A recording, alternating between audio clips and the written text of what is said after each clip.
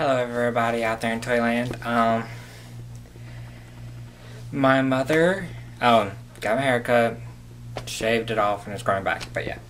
Um, quick update to me.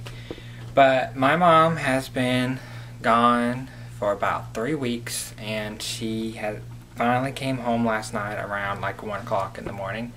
She has been gone to Indiana to help take care of my great grandmother. Um, but while she was up there, she managed to go around to some yard sales and antique stores and whatnot. And at a yard sale, she scored some major, uh, a good find. Um, she, uh, a lady had beat her there and scooped up most of them, but for some reason she left these. I guess they just weren't up to her quality or something. But sucks for her, good for us, I guess. Um, first off, we have a um,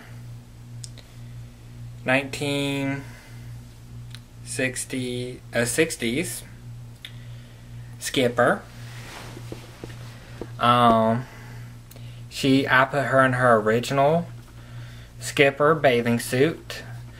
Unfortunately, at some point in time, it looks like a dog has gotten hold to her and gnawed her up a little.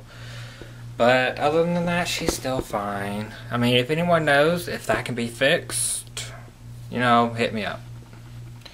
But her hair is good, uncut. She has great complexion. She cleaned up brilliantly. And, um, she's still great. And also, uh, another skipper, same year, um, not chewed up and at perfect condition, bends. She's, you know, hair is great. Didn't even need to brush it. Well, I brushed a little. I didn't need to wash it or anything.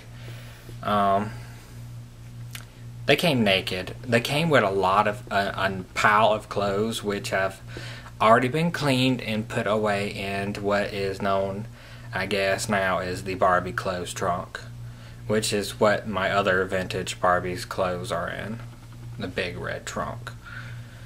But, um, yes, another skipper. She is a darker skin toned than the first one, but they're made during the same year. Okay. And, um, I guess, you know, the piece de resistance. A 1958 Barbie with bubble haircut. She came naked too. But I found some nice vintage shoes, and this is a modern dress. Velcro. But I just did not really have another dress that would, you know, fit, you know, fit her right.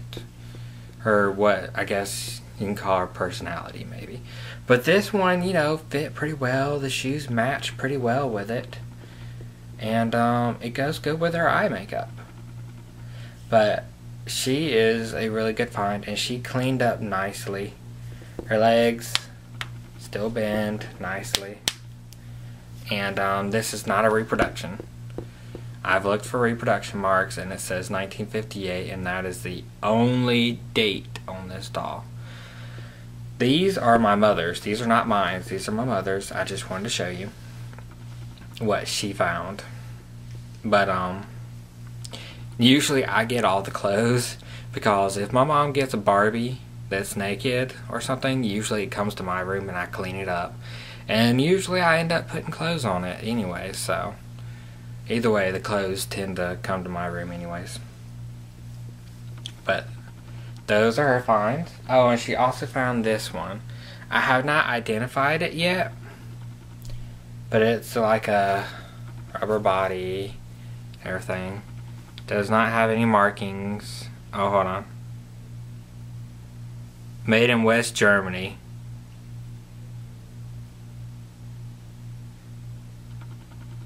So, this is a German toy and it has some little markings on their feet. If you can see that. Um, but yeah, this is her original outfit. And she's in pretty good condition. She has the metal in her body showing. And uh, it's starting to show in a few places. But that's okay.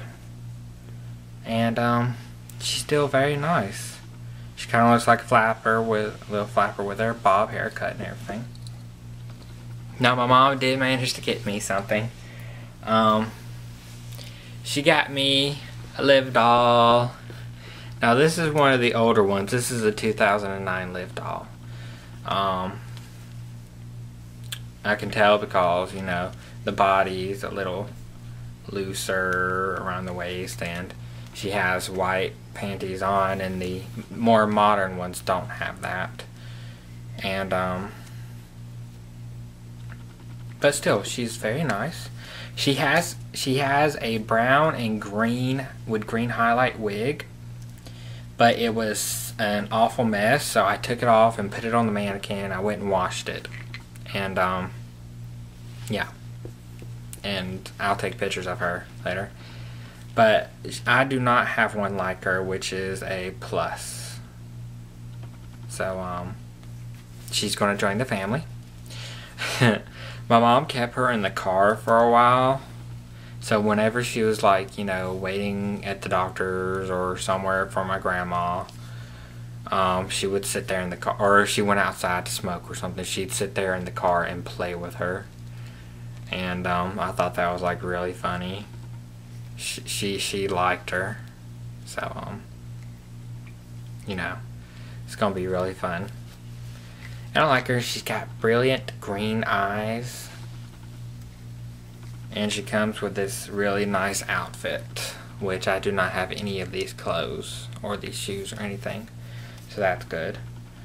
Um, I didn't even know these were these were out in 2009. That shows how much I paid attention to the modern fashion dolls. I was still collecting antique dolls at the time antique and some vintage. So, and I didn't really care about modern fashion dolls. So, um, but this is great. I mean, she's very nice. I like her. And that's what she found me, so. But yeah, um, I'm just happy to have my mom back. Um, she was really tired. And for some reason, right now, she's cleaning. I have no idea why. Um, thinking about taking her out for dinner tonight because she's been gone for so long. But, um, just happy to have her home. Happy she made it home safe and sound. She drove all the way to Indiana, so. But, but yeah, that's some of her finds. She had more, but these are the doll related ones. So, um, I hope y'all like these. And I'm going to go put these in her display cases in the living room where they will be displayed for everybody to see. So, um, I hope you like them. Tell me what you think. And, um, I hope y'all have a great day out there in Toyland. Bye.